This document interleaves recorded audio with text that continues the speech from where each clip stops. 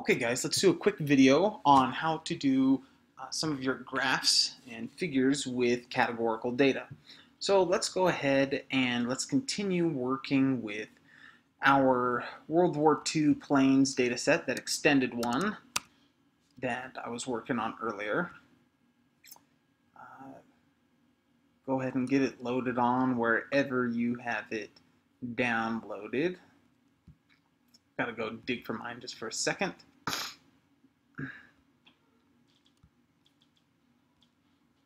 Okay, so when we look at our data set, we should have our like airplane identification number, wing, engine, fuselage, tail, and then type of plane. We've got fighter, transport, and bomber. Okay, so let's do a quick summary of that data. Go to summaries.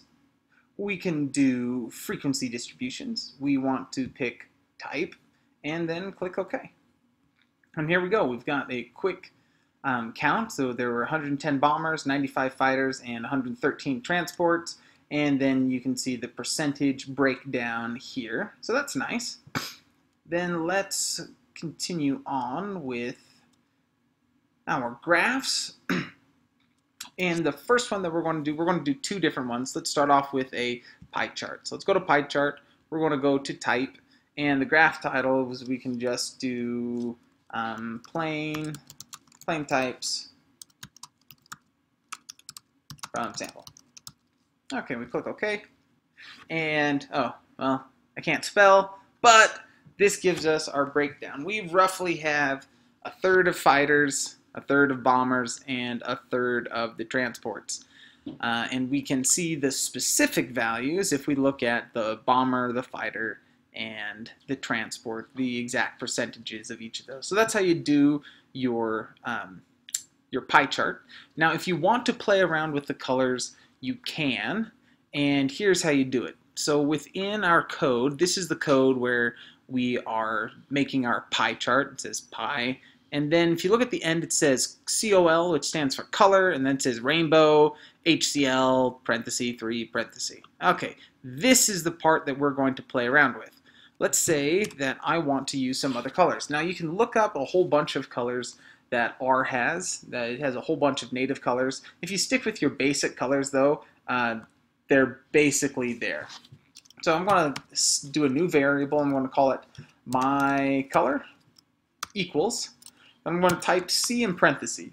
If you're into coding, the C stands for concatenate, or it's to like smash uh, strings together.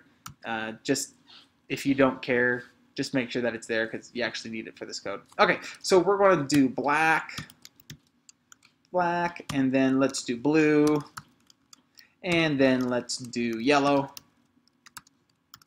and end with a parenthesis. Okay, and this is a new variable. This is my variable, my color. Right here, instead of using this rainbow function, I'm just going to call it my color.